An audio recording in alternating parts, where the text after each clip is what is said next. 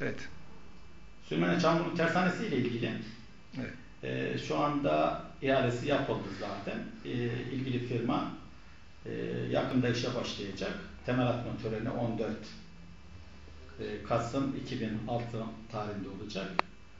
E, bu proje kapsamında Yeni Çam projesi olarak, tersane projesi olarak adlandırdığımız projenin ana mendili 2250 metre, tali mendili 332 metre olacak. Bu proje e, normal te- ilk etapta gemilerin tersane olarak kızak yeri olarak kullanacakları, gemi yapım yeri olarak kullanacakları 285 bin metrekarelik bir dolgu olacak. Bilahare ikinci etapta bu dolgu alanı daha da artırılacak. Şu anda e, proje ile ilgili imalatlar, satacakları imalatlara hemen off taş ocağımız var. Oradan alınacak. Kum çatılla ilgili yine o yöreden malzeme alınacak. Yaklaşık 7,5 milyon ton malzeme, anlaşman dediğimiz, taş dediğimiz malzeme kullanacağız. Ee, bu proje 1000 takvim günü içerisinde bitirilmesi planlanıyor. Ee, tabii proje bitirildiği zaman mevcut tersane projesine göre çok daha modern bir tersane olacak.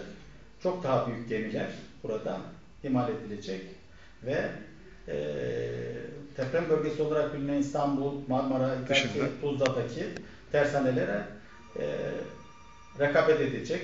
Yani veya ikinci alternatif olarak değerlendirilecek bir proje burası. Karadeniz bölgesi onun için çok şanslı ve en, en önemlisi de büyük bir istihdam sağlayacak.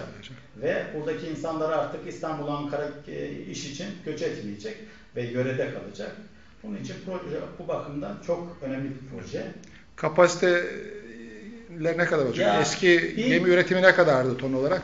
Eski Şimdiki proje, ne kadar yani gemilik biz- yap- tabii ki gemiler yapılacak? denizcilik müsteşarlığı e, daha bu konuda bu araştırmayı daha iyi biliyorlar. O konudaki verileri daha doğru verilerdir. Ama 1000 tona kadar, 1000 deadweight tona kadar gemilerin yapıldığı ve 55 metre, maksimum 55 metre boyundaki e, gemilerin e, imal edildiğini biliyoruz.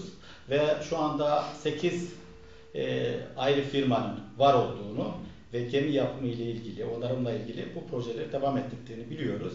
Ama çok daha modern, inşaat mühendisi, üniversite, yakındaki üniversitede dikkate alındığında Katkı e, sağlayacak. kapasite çok daha artacak. 10 bin deadweight tona kadar e, hatta daha da büyük gemilerin yapabilecek. imkan sağlayacak bir proje bu proje.